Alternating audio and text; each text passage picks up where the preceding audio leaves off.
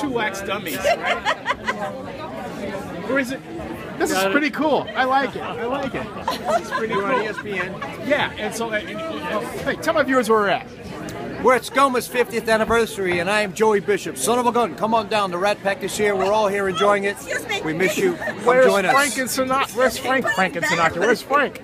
Frank? Frank is uh, doing some business over the side of the water there, and Dean is uh, having a drink. And Sammy, uh, I can't see him. He's lost. so he's dancing in the back. Come on down. We're having a great time. What? What? Oh, He won't give it to me. Carol. Carol. What? He doesn't move. I know, but his bag was stuck there. What if, what if all of a sudden he started going? Well, they put that could never understand why Frank always eclipsed Tony Bell's talent. I thought he was the best. Yeah, there you Tony go. lived long. Yeah, yeah, yeah, there you go. There you go. Hey.